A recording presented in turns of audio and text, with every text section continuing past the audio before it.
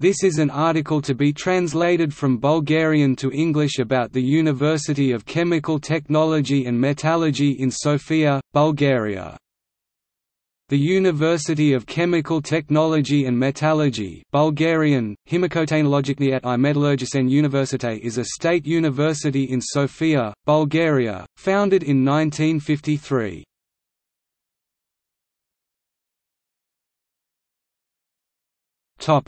History The university were established in 1953 as the Institute of Chemical Technology with two faculties, engineering chemical and metallurgical. For first rector were chosen Boris Zagorchev.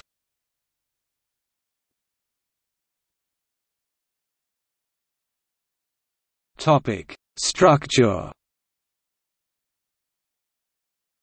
Faculty of Chemical Technology.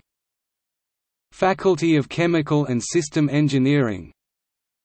Faculty of Metallurgy and Materials Science